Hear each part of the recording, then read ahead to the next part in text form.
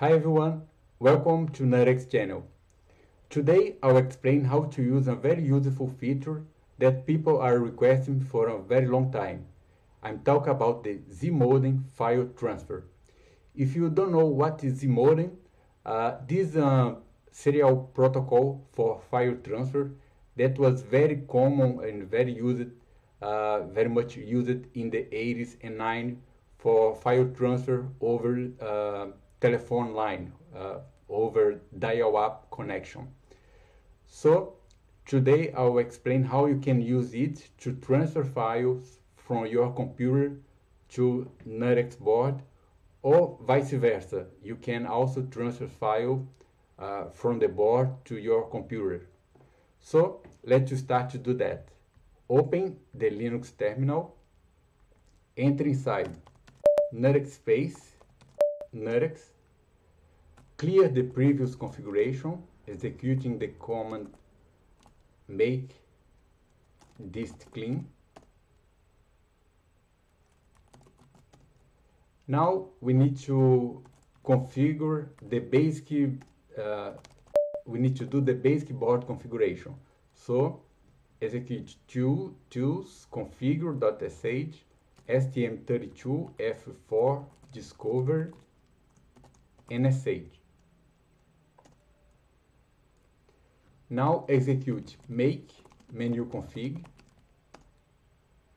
and we need to go inside file system and enable the TMPFS file system. Why do you need to enable uh, the TMPFS in the first place?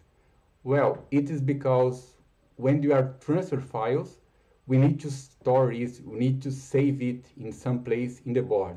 And normally, uh, the system of the board is read only. Uh, when you start the board, you cannot write files on it.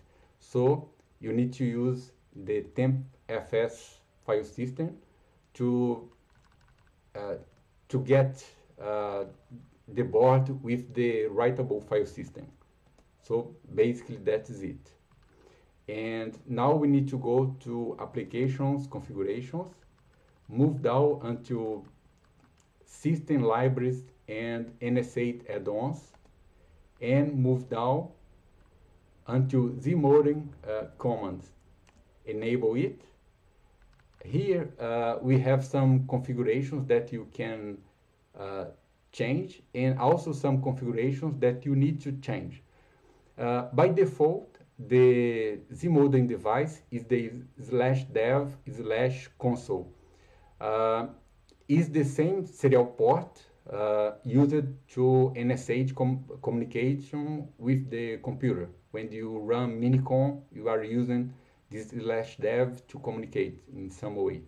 Uh, actually, it's a kind of um, uh, symbolic link to the real serial driver. That that is uh, slash dev tty s0 or so and if you want to use another serial port for example let's suppose that you enable uh, UART4 or other uh, serial port on your board.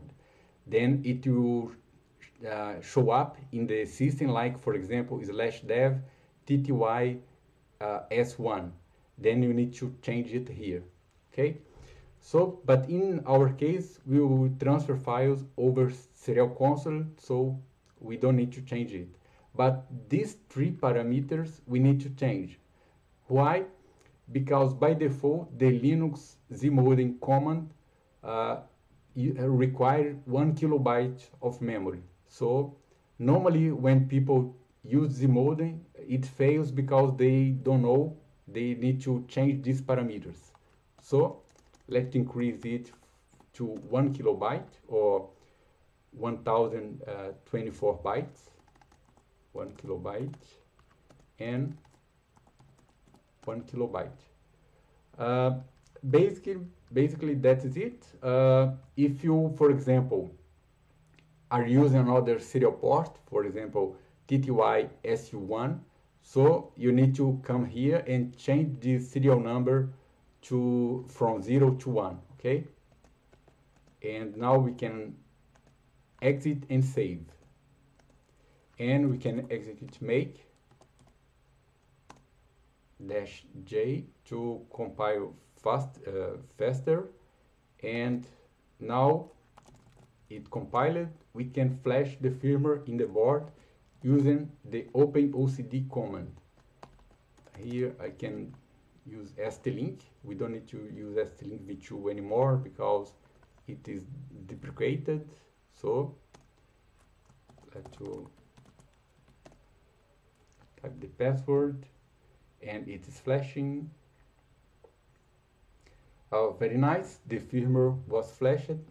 We can press ctrl c clear and execute minicom uh, here of course you need to use the usb serial adapter uh, in the PA2 and PA3 pins like I explained in previous videos okay?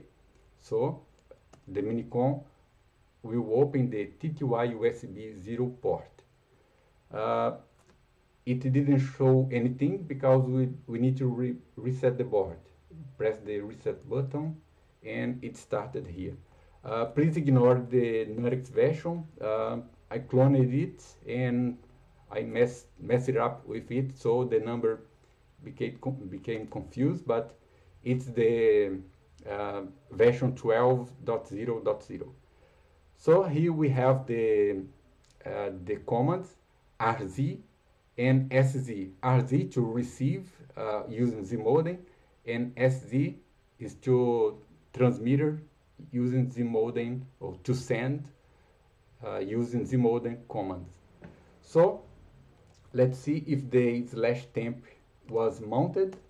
Okay it was mounted. We, we can see the tmp uh, directory let's to see what is inside it. Okay there is nothing. Uh, it is empty. So now we can run the rz to receive data that will be transmitted from the computer to the board now we need to press Ctrl A Z and send file. So select S and use the Z. Now we need to move down and fi find the file we want to, tr to transfer. This this file here, uh, logo, that uh, txt. Okay, it's already transferred very fast.